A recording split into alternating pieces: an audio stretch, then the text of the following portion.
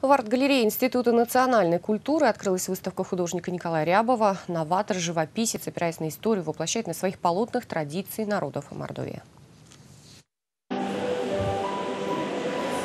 В экспозиции представлены работы разного периода. Самые ранние картины написаны в этносимволическом направлении, среди них Куйгорош и Видява. Значительную часть экспозиции занимают портреты. Художнику позировали известные ученые, писатели, деятели искусств и образования Мордовии. Для пейзажей Николай Рябов выбирает неяркие краски, поэтому его картины получаются сдержанными. В них художник чаще всего изображает родное село – Подлесную Тавлу. В последнее время мастер обращается к исторической теме. Более 40 работ а, но это вот часть э, своей коллекции, так как многие остались э, у меня в мастерской.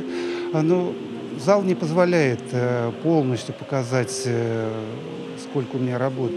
А, ну, часть работ. Ну вот я уже сказал, что э, я ранние работы показал, те, которые выполнены ну, в стиле этносимволизма.